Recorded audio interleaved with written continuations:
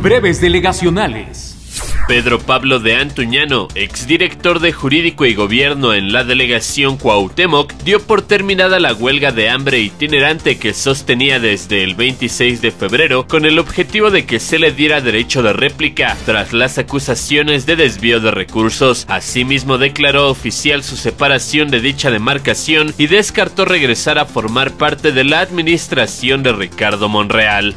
Habitantes de la delegación Miguel Hidalgo acusaron a la jefa delegación delegacional Xochil Gálvez de no importarle el problema de inseguridad en la demarcación. En enero pasado, los vecinos solicitaron a la panista que pactara una reunión con el secretario de Seguridad Pública, Iram Almeida, para hablar acerca de temas de seguridad y aunque Galvez les contestó que la buscaría, esto no ha sucedido. Los reproches de los vecinos no han cesado, pues llevan más de tres meses esperando a que llegue la solicitud que la jefa delegacional en Miguel Hidalgo, Xochil Gálvez, prometió, llegando incluso a evidenciarla a través de Twitter.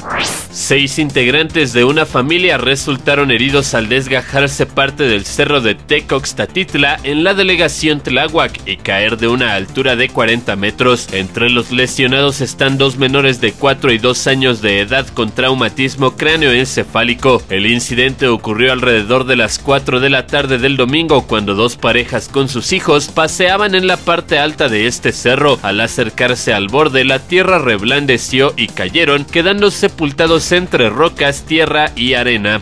Informó para el punto crítico Diego Rivero.